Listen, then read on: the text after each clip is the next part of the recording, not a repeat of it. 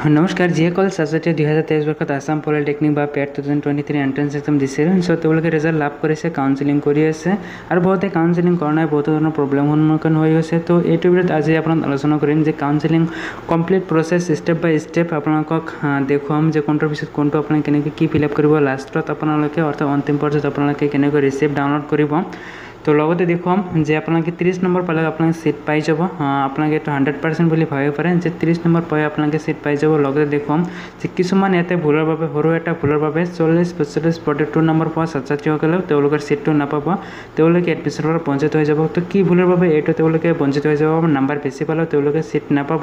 তো সেইটো আপোনালোকক জনাম। লগতে জনাম যে কাষ্ট কেটেগৰী ৱাইজ মাৰ্ক আপোনালোকে কাট অফ মাৰ্ক কিমান হ'ব পাৰে সেইটো বিষয়ে আপোনালোক জনাম। কাৰণ বহুতে এইটো সুধিছে যে সেইটো কলেজৰ সেইটো ব্ৰাঞ্চত কিমান কাট অফ মাৰ্ক যাব পাৰে তো এনেকুৱা বহুত ধৰণৰ সুধিছে। লগতে জনাম যে আপোনালোকে মই হাণ্ড্ৰেড পাৰ্চেণ্ট কৈছোঁ আপোনালোকে ত্ৰিছ পঁয়ত্ৰিছ নম্বৰ যদি পাইছে তথাপি আপোনালোকে ইয়াতে হাণ্ড্ৰেড পাৰ্চেণ্ট ছিট পাই যাব। ইয়াতে মই যেনেকুৱা ধৰণে ইয়াতে প্ৰিফাৰেঞ্চবোৰ এড কৰিম অৰ্থাৎ কলেজ আৰু ব্ৰাঞ্চবোৰ এড কৰিম আপোনালোকে যদি আপোনালোকে তেনেকুৱা নম্বৰ পাইছে ত্ৰিছ সাতাইছ বা পঁয়ত্ৰিছ নম্বৰ পাইছে তেনেহ'লে আপোনালোকে এনেকৈ আপোনাৰ কলেজ এড কৰক ব্ৰাঞ্চ এড কৰক নিশ্চয় আপোনালোকে ফাৰ্ষ্ট কাউন্সিলতে আপোনালোকে ছিট পাই যাব।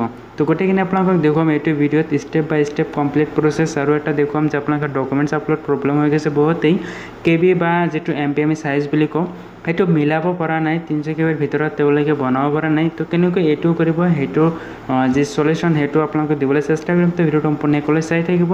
আপোনালোকে যিটো কাউন্সিলিঙৰ যিটো পৰ্টেল ডাইৰেক্টলি আপোনালোকে সেই পৰ্টেললৈ আপোনালোকে গুচি যাব। নিশ্চয় মই ভিডিঅ'ৰ আপোনালোকে ডিছক্ৰিপশ্যনতে পাই যাব সেইটো লিংকটো চ' এনেকৈ অহাৰ পিছতে আপোনালোকে ইয়াতে ক্লিক কৰিব। চইচ ফিলিং আপোনালোকে ইয়াতে ক্লিক কৰি আপোনালোকে ইয়াতে কি কৰিব ৰোল নম্বৰ আৰু আপোনাৰ ডেট অফ বাৰ্থ আৰু কেপচাৰটো দি আপোনালোকে ইয়াতে চিম্পলি লগ ইন কৰিব। ইয়াতে মই লগ ইন কৰিম। লগ ইন হোৱাৰ পিছতে আপোনালোকে ষ্টেপবোৰ দেখিবলৈ পাব। ইয়াতে ফটো ছিগনেচাৰ গোটেইখিনি আহি যাব। কিমান নম্বৰ পাইছে সেইটো আহি যাব। ইফালে আপোনালোকে পেটৰ ৰোল নম্বৰ মাৰ্কবিলাক আপোনালোকে ইফালে দেখিবলৈ পাব। ইয়াতে তো আমি ইয়াতে কি কৰিম ডাইৰেক্টলি স্কল ডাউন কৰিম স্কল ডাউন কৰি ইয়াতে দেখিবলৈ পাম। ক্লিক হেয়াৰ টু প্ৰচেড আমি ইয়াতে ক্লিক কৰিম। ইয়াতে ক্লিক কৰি দিয়াৰ পিছত ইয়াতে ৰেজিষ্ট্ৰেশ্যন ডিটেইলছটো ইয়াতে আহি যাব। যদি আপোনাৰ ইয়াতে নামবিলাক এডিট কৰিব লগা হয় তো আপোনালোকে ইয়াতে এডিট কৰিব পাৰিব। ইয়াতে বেচিকেলি ইয়াতে কি হয় নিজৰ নাম ফাদাৰ্ছ নেম আৰু ডেট অফ বাৰ্থ এইকেইটা আপোনালোকে এডিট কৰিব নোৱাৰে। কিন্তু যদি আপোনাৰ ভুল হৈছে আপোনালোকে এই তিনিটা আপোনালোকে এডিট কৰিব পাৰিব।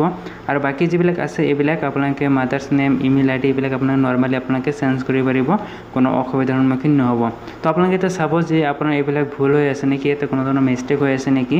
যদি মিষ্টেক হৈ আছে তেনেহ'লে আপোনালোকে এইবিলাক আপোনালোকে চেঞ্জ কৰিব পাৰিব। যদি আপোনালোকে চেঞ্জ নকৰে আপোনাৰ ঠিকেই আছে তেনেহ'লে চেঞ্জ কৰিব লাগে একো নাই। আপোনালোকে এইটো ডাইৰেক্টলি পিছত কি কৰিব? তলফালে আহিব। তলফালে আহি আপোনালোকে ছেভেন কণ্টিনিউ বাটনত ক্লিক কৰিব। আপোনালোকে চেক কৰি ল'ব যে সকলোখিনি ঠিকেই আছে নে নাই। তো মই ইয়াতে ছেভেন কণ্টিনিউ বাটনত ক্লিক কৰিম। ইয়াতে য়েছ আপডেট বাটনত মই ক্লিক কৰিম। আপডেট হৈ গ'ল। চ' নেক্সট প্ৰচেছ ইয়াতে আছে কম্বিনেশ্যন ডিটেইল অৰ্থাৎ যোগাযোগত ইয়াতে ডিটেইলছখিনি আপোনালোকে চাব যে ইয়াতে ভুল হৈছে নেকি বহুতৰ পিন নাম্বাৰ আৰ ভিলেজ পোস্ট পি এছ এইবিলাক মানে মিষ্টেক থাকে তো আপোনাৰ যদি ভুল হৈছে আপোনালোকে প্ৰথমে এপ্লাই কৰোঁতে ভুল হৈছিল তেনেহ'লে আপোনালোকে এতিয়া এডিট কৰি ল'ব অৰ্থাৎ আপোনাৰ শুদ্ধ কৰি ল'ব পাৰে চ' মোৰ এতিয়া সকলোখিনি ঠিকেই আছে ছেভ এণ্ড কণ্টিনিউ ক্লিক কৰিম নেক্সট ষ্টেপ লৈ যাম ইয়াতে কোৱালিফিকেশ্যন কোৱালিফিকেশ্যন ইয়াতে গোটেইখিনি ইয়াতে এনেকৈ থাকিব।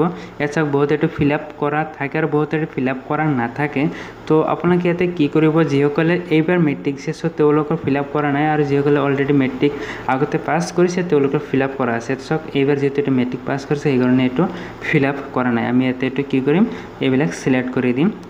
ইয়াতে অপটেন মাৰ্ক টোটেল মাৰ্ক আমি ইয়াতে ভৰাই দিম।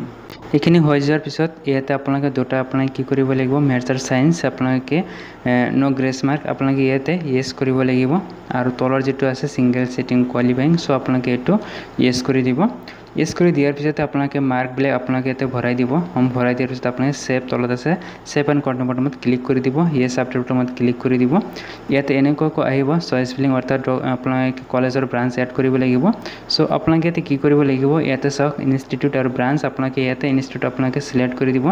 চ' এনেকৈ আপোনালোকে চিলেক্ট কৰিব। আপোনাৰ মাৰ্ক ৱাইজ ইয়াতে চাওক আপোনালোকে চাব লাগে যদি আপোনালোকে কি হৈছে আপোনালোকে ত্ৰিছ বা পঁয়ত্ৰিছ বা থাৰ্টি টু থাৰ্টি থ্ৰী বা থাৰ্টি ছেভেন এনেকুৱা মাৰ্ক পাইছে তেনেহ'লে আপোনালোকে চিভিল এইবিলাক আপোনালোকে চিলেক্ট কৰিব নালাগে আপোনালোকে ইলেক্ট্ৰিকেল মেকানিকেল বা বাকী যিবিলাক আছে এগ্ৰিকালচাৰ চ' আপোনালোকে সেইবিলাক আপোনাক চিলেক্ট কৰক চ' সেইবিলাক চিলেক্ট কৰি দিয়াৰ পিছতে আপোনাক বাকীবিলাক আপোনাক চিলেক্ট কৰিব চ' আপোনালোকে এটাই আপোনাক ইয়াতে চিলেক্ট কৰিব নালাগে মই ইয়াতে কৈছিলোঁ যে চল্লিছ পঞ্চল্লিছ পোৱা ছাত্ৰ ছাত্ৰীসকলে ছিট নাপাব তেওঁলোকে ইয়াতে কি কৰিছে চাওক ফৰ্টি ফাইভ নম্বৰ পাইছে।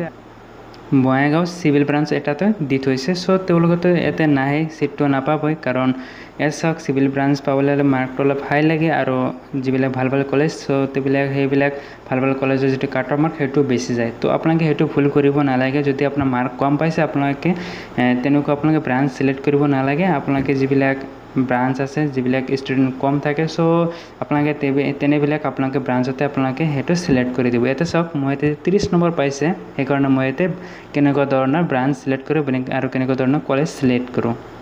ইয়াতে মোৰ কমপ্লিট হ'ল প্ৰিফাৰেঞ্চবোৰ এড কৰা। মই যেনেকৈ দিছোঁ আপোনালোকে তেনেকুৱা ভাবি চিন্তি দিব নিশ্চয় আপোনালোকে যদি এনেদৰে আপোনালোকে কলেজ আৰু ব্ৰাঞ্চবোৰ ছিলেক্ট কৰে নিশ্চয় আপোনালোকে যদি ত্ৰিছ পাইছে তথাপিও আপোনালোকে ছিট পাই যাব। যদি আপোনালোকে সাতাইছ আঠাইছ পাইছে মোৰ ইয়াতে বিলিভ হয় তথাপিও আপোনালোকে ইয়াতে ছিট পাই যাব। ইয়াতে চাওক মই এটাও এনেকুৱা চিভিল বা তেনেকুৱা ভাল ব্ৰাঞ্চ মই এটাও ছিলেক্ট কৰা নাই যিবিলাক মানে ৰেংকটো হাই হয় অলপ উচ্চ লেভেলত যায়। চ' তেনেকুৱা মই এটাও ইয়াতে ব্ৰাঞ্চ ছিলেক্ট কৰা নাই। কাৰণ ইয়াতে যিটো টোটাল মাৰ্ক ইয়াতে স্ক'ৰ আছে সেইটো আছে থাৰ্টি অৰ্থাৎ ত্ৰিছ নম্বৰ পাইছে।